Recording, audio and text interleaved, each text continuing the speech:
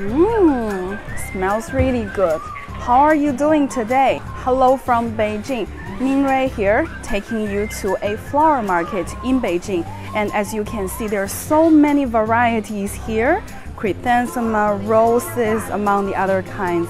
The consumption need is actually increasing over the past few years. And as you can see, the business is really booming here after the COVID um, pandemic under control.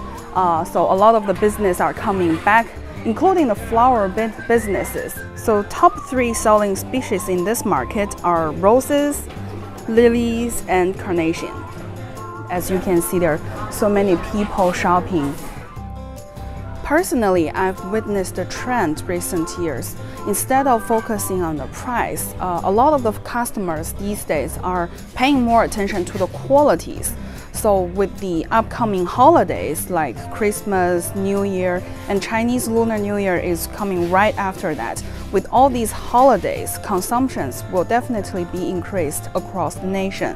And my message for you guys in Hainan is that get ready for the booming business ahead. And also I wish the farmers in Hainan a very rewarding season ahead. Back to you guys.